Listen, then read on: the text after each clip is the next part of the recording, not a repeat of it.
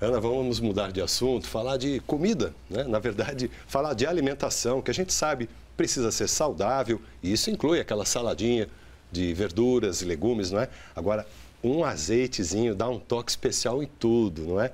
Você sabia que o Brasil tem uma produção de qualidade Sabia sim, Roberto, mas falar isso é até maldade antes da gente jantar. E quem não gosta de um bom azeite, né?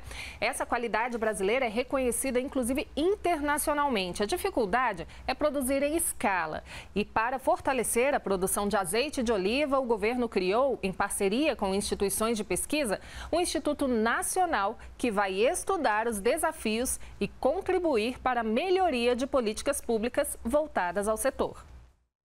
O fio de azeite é o toque especial que finaliza qualquer prato. Ele é um ingrediente fundamental na gastronomia. E quando pensamos na iguaria, vem logo à cabeça os sabores do Mediterrâneo, aqueles produzidos na Espanha e Itália. Mas você sabia que para consumir um bom azeite, você não precisa atravessar o oceano?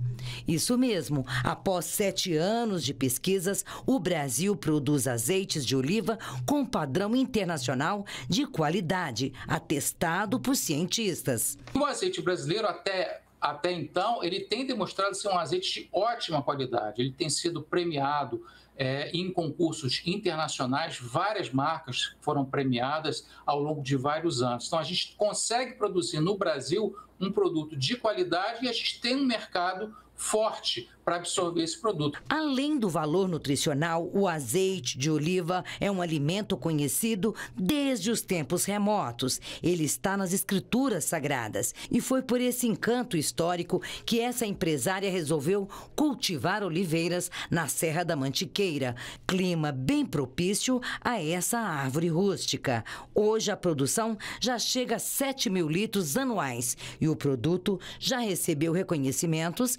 internacionais mais. Agora estão surgindo tantos, tantos é, concursos, mas a gente acha importante de vez em quando tá para realmente se certificar da qualidade do produto, né?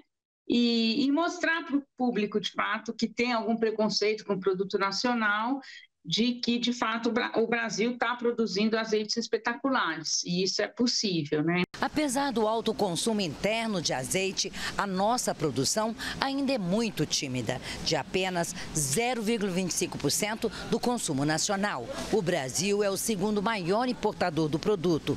Compra de outros países cerca de 100 mil toneladas por ano. E para aumentar a produção interna, o governo federal já começa a investir na olivicultura.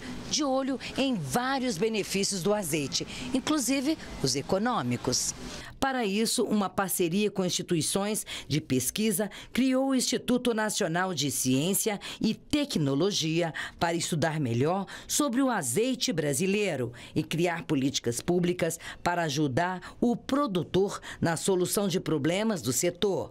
Os primeiros recursos para o pontapé inicial dos trabalhos, da ordem de 6 milhões de reais, já foram liberados. Se a gente pensar só em substituir 50% da importação já é um volume de recursos bastante grande que a gente vai deixar de mandar para fora e vai manter aqui dentro, circulando esses recursos aqui dentro. Do ponto de vista econômico, é muito interessante. Oba, tomara que a gente prove logo esses azeites nacionais, né, com esse incentivo. Isso aí abriu o apetite a essa hora, hein? é.